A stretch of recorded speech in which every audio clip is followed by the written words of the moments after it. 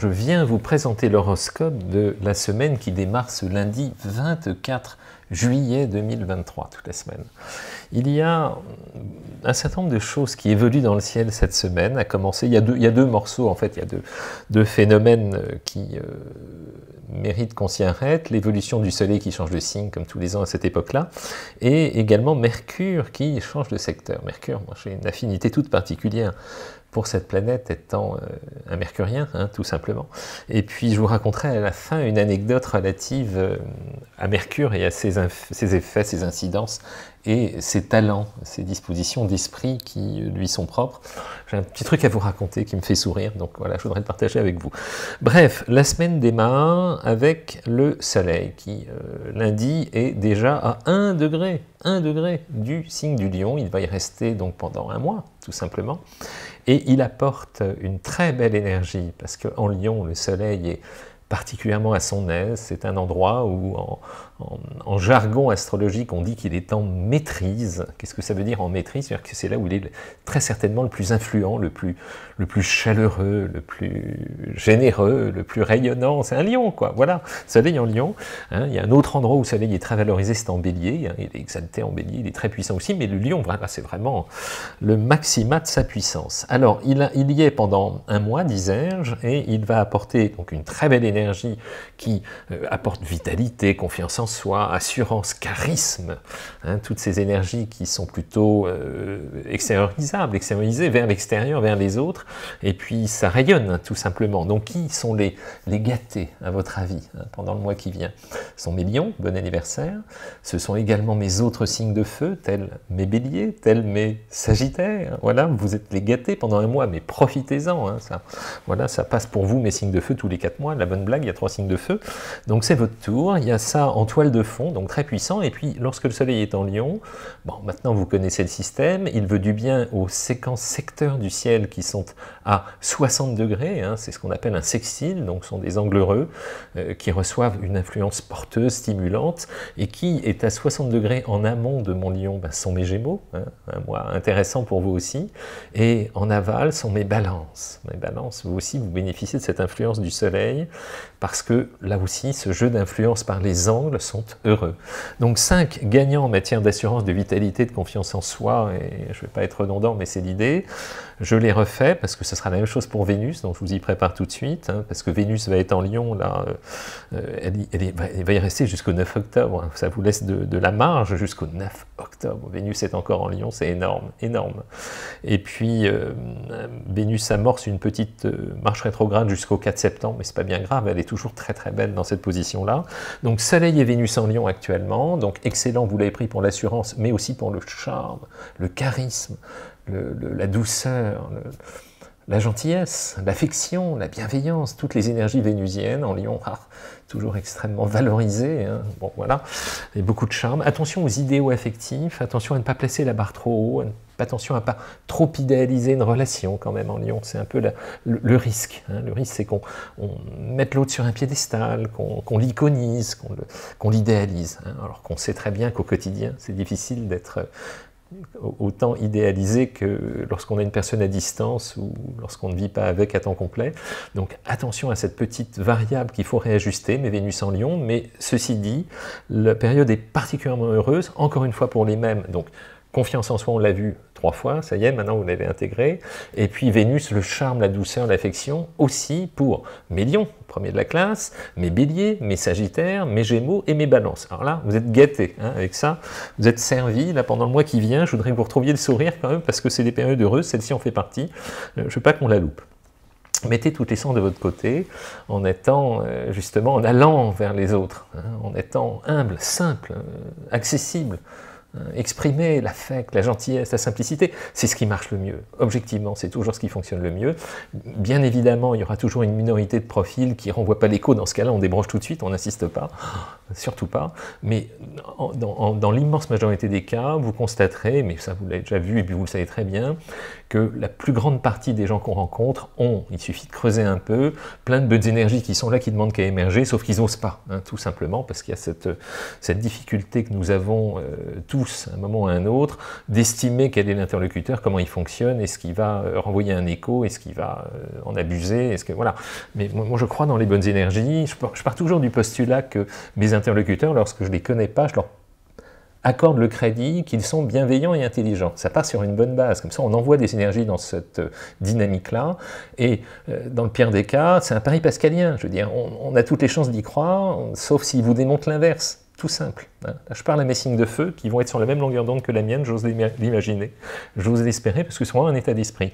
Alors ça c'est dit. Après, en parallèle, il y a euh, Mercure également en Lyon, comment aurais-je pu passer à côté de cette information centrale euh, Mercure sera en Lyon jusqu'au vendredi 28, donc quasiment jusqu'à la fin de la semaine, et il quittera le Lyon à 21h32 en temps sidéral. Temps sidéral, c'est la base de calcul qui nous sert de référence, et euh, ici on rajoute deux heures parce qu'il y a l'heure qui nous décale de Greenwich, donc c'est plus une heure, plus l'heure d'été, fait plus deux heures. Donc en gros, jusqu'à vendredi 28, 23h30, Mercure est en Lyon, profitez-en pour avoir cette acquérir et maîtriser et diffuser cette vision d'ensemble qui vous caractérise, cette visibilité globale en matière de communication et d'échange, sans oublier, euh, je vais le rappeler encore une fois, d'être pédagogue, hein, mais Mercure en signe de feu, là, très bon pour la com, Bélier, Lion, Sagittaire, les mêmes, vous allez me dire, vous êtes des gâtés, vraiment, hein. avec Soleil, Mercure et Vénus en Lion, il y a des heureux, hein, mes signes de feu, Bélier, Lion, Sagittaire, top, mes Gémeaux, mes Balances aussi, vous cinq, vous êtes dans une phase où les planètes rapides, toutes là, vous veulent un bien fou, profitez-en. Cela ne dure pas éternellement. Ah, ça rime. Voilà l'idée. Après, en revanche, ça change à partir du vendredi 28 où Mercure va rentrer dans un secteur qui, moi, me fait sourire parce qu'il va rentrer en Vierge, qui euh, est statistiquement, hein, comme ça, un endroit où il a plutôt des affinités. Voilà, pour observer, euh, communiquer, analyser, décortiquer, être fin, précis, pointu, euh, s'appuyer sur un, vocabulaire plus, plus, parfois plus, plus étendu, parce qu'il aime bien comprendre dans les détails ce qui se passe, le pourquoi du comment. Donc il va être très heureux pour mes signes de terre à partir de vendredi. Je vous en ferai tout un roman la semaine prochaine, mais en tous les cas, à partir de vendredi, mes signes de terre, c'est la fête. Enfin, c'est la fête sur le plan mental, intellectuel, communication. Donc, vendredi soir, dans la nuit de vendredi à samedi, si on a des trucs à dire, des messages à faire passer, des analyses à faire, des réglages, des, mises au point, de l'échange, du rapprochement, à partir de vendredi. Donc, pour mes vierges, mes taureaux, mes capricornes, et bien évidemment mes scorpions et mes cancers, au niveau de la communication, la période qui vous attend, la période qui vous attend à partir de vendredi est très très intéressante. Très pourquoi? Parce que Mercure, j'y reviendrai, est particulièrement heureux dans deux secteurs, en Gémeaux, des profils ayant de l'humour et, un sens de l'adaptation assez étonnant, et en Vierge, où concernant la finesse d'interprétation et de communication, ça peut être aussi assez étonnant parfois, lorsqu'ils maîtrisent leur sujet, en général, ils sont intarissables. Voilà, c'est dit, tout simplement. Ça, c'était pour les planètes rapides. Et puis, il n'est pas seul dans le signe de la Vierge à partir de vendredi, ce Mercure, parce qu'il va rejoindre tout doucement une planète qui s'y trouve déjà. La planète en question, eh bien, c'est Mars. Mars l'action, le, côté euh, détail, précis, pointu dans l'exécution. On peut confier la tâche, un, un travail, quel qu'il soit, à un Mars en Vierge, où il ne le fera pas, ou s'il le fait, il le fera Très bien. Il y a ce sens du détail qui euh, a plein d'avantages. Plein d'avantages, c'est qu'ils sont fiables, sérieux, bosseurs. C'est une, très très belle position Mars en Vierge pour euh, pouvoir se reposer sur les personnes qui ont cette disposition-là. On en trouve beaucoup dans le domaine médical, l'envie de bien faire, la finesse, la précision, euh, décortiquer, vraiment faire au mieux pour que ça se passe bien. Besoin d'être dans l'utile, dans l'action aussi. Attention toutefois, Mars en Vierge a euh, un côté énergivore terrible en voulant trop bien faire. Ceux qui sont nés avec Mars en Vierge, et par effet, lorsqu'ils passent là, ils colorent le ciel collectivement avec cette influence-là, euh, le mieux est l'ennemi du bien, n'oublions jamais ça. Et il est assez fréquent que ceux qui ont Mars en Vierge euh, soignent le détail, en fassent trop pourquoi? Parce qu'il y a toujours du doute chez la Vierge, toujours un manque de confiance en soi résiduel qui est là persistant, qui a besoin d'être rassuré sur le principe de l'écho. Alors si vous avez autour de vous des Mars en Vierge, si vous voulez leur faire plaisir, quand ils font quelque chose de bien tant qu'à faire, mais ça c'est rare que ce soit l'inverse, dites-leur, ça leur fait, mais incroyablement plaisir, je vous assure. Là, vous faites des heureux. Et puis ceux qui ont Mars en Vierge aussi doivent apprendre une technique toute simple qui consiste à encourager ceux qui font des efforts autour d'eux Pourquoi? Parce que plus on encourage ceux qui font des efforts, plus eux-mêmes feront en sorte que ça se passe bien et ça les motivera pour faire au mieux et vous aurez un meilleur retour en écho de ces efforts qui rentrent dans ces spirales vertueuses extrêmement intéressantes et constructives. Voilà pour Mars, il veut du bien, donc vous l'aurez bien compris, à mes vierges, à mes signes de terre, à mes taureaux, à mes capricornes, à mes cancers et à mes scorpions. Mars, l'action, très intéressant pour vous. 5. Voilà, c'est l'idée.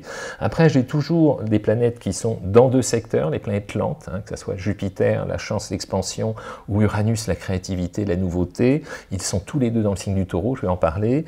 Et nous regarderons ensuite euh, qui, euh, les deux planètes qui sont en poisson de façon un peu persistante aussi, Saturne, le temps, Chronos, la sagesse, et Neptune, l'inspiration, le ressenti, l'intuition. Voilà ce qu'on va regarder maintenant. Lorsque Jupiter, la chance, est en taureau et Uranus, la créativité, est en taureau, ils vont rester un bout de temps. Dans ce signe, il apporte les éléments que je viens de vous citer, hein, euh, positif, état d'esprit, facteur chance, euh, opportunité à saisir, et puis créativité, Uranus, voir les choses sous un angle différent, très bon pour mes taureaux, pour mes vierges, pour mes capricornes, vous l'aurez bien compris aussi, et puis pour mes cancers et mes poissons. Vous cinq, là, jusqu'en mai prochain, Jupiter est là, il vous veut que du bien. Et puis, en ce qui concerne les deux planètes en poisson, Saturne et Neptune, qui en soi peuvent apparaître assez antinomiques.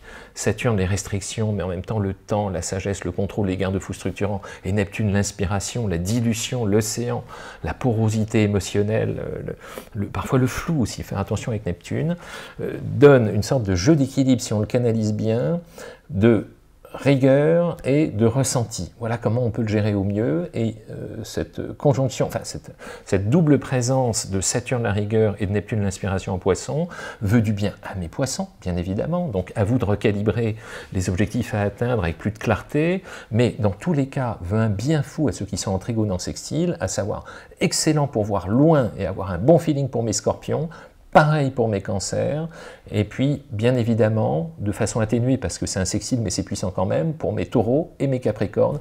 Taureau, vous êtes gâtés, cancer, vous êtes gâtés, hein, vous l'avez bien compris. Euh, voilà, Scorpion, c'est pas mal. Hein. Il n'y a que l'opposition de Jupiter-Uranus à gérer. Attention les dépenses, attention l'irritabilité. En ce moment, avec Jupiter en taureau, faut se méfier pour qui? Pour mes versos, j'en parle pas beaucoup en ce moment, parce que quand les planètes sont en lion, ben, elles forment des oppositions. Lorsque des planètes sont en taureau, elles forment des carrés, mes pauvres versos. Et puis, effectivement, le reste des planètes étant assez neutre, Hein, euh, en ce moment, c'est peut-être pas le ciel idéal.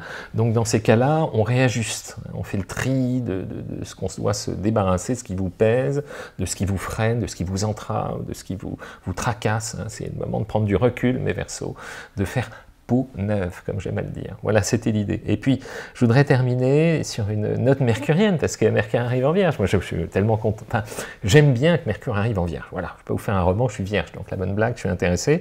Euh, c'est une, petite histoire que j'ai entendue, donc je vais essayer de vous la retransmettre, de vous la traduire de la façon la plus euh, personnelle possible. Euh, il s'agit d'une anecdote qui nous vient de Marc Lévy, l'écrivain Marc Lévy, écrivain à succès, talentueux il a, euh, Marc Lévy raconte une histoire qui lui est arrivée lorsqu'il était adolescent. Son père l'appelle. Allez, une chose à te raconter. Donc, père l'appelle. Il prend une feuille de papier, un crayon, il dessine un rond, hein, père de Marc Lévy. Et puis il dit Tu vois, ça, c'est une boîte crânienne. Voilà. Et puis à l'intérieur, il, fait un dessin un peu comme une éponge. Il dit Voilà, dans, cette, dans cette boîte crânienne, tu remarques autour, c'est quand même, comment dire, c'est limité en matière d'expansion. Donc, on peut y mettre plein de choses, mais notamment deux euh, éléments fondamentaux qui vont être ou l'humour ou l'ego. Intéressant, hein. déjà ça fait réfléchir. Il dit, ceux qui mettent de l'humour, eh ben, qu'est-ce qu'ils vont rigoler toute leur vie hein. et, puis, et puis ils auront fait marrer tout le monde, et puis euh, vraiment c'est des bonnes énergies. Moi je suis convaincu que l'humour est ce qu'on appelle un biais cognitif qui permet face à des situations qui nous angoissent, qui nous stressent, qui nous tracassent, de les intégrer. L'humour est vraiment une brèche qui permet de passer du conscient à l'inconscient et d'intégrer des choses qui nous, qui nous pèsent. Hein, vraiment, ah, ah, l'humour, grand Dieu. Et à l'inverse, comment il décrivait ça? Attendez, je l'ai noté parce que je ne veux pas le gourer. On a le choix. Donc, ou on développe l'humour, ou on développe l'ego. Et si on développe l'ego, c'est beaucoup plus ennuyeux parce que d'une manière générale, ceux qui développent l'ego, ils finissent assez tristes. Hein, assez tristes et, euh, et puis ils finissent par casser les pieds de tout le monde, en fait. C'est ça l'idée. Donc, bref, Je prêche pour la simplicité, l'élasticité intellectuelle, la souplesse, la gentillesse et surtout l'humour. C'est vraiment un truc de mercurien. Je voulais vous raconter tout ça. Euh, c'est une anecdote. Bon, mille merci. Je vais pas parler de Pluton parce qu'il est euh, en marche rétrograde à 29 degrés du Capricorne jusqu'au 10 octobre, donc il nous laisse un peu tranquille. On a une pause, j'aurai l'occasion d'en reparler en son temps, tout simplement. Bon, merci pour vos gentils messages, pour euh, vos likes et pour vos abonnements, pour toutes les bonnes énergies et puis bonnes vacances pour ceux qui partent. voilà, à très vite. Je vous prépare encore une fois plein de vidéos. À très bientôt.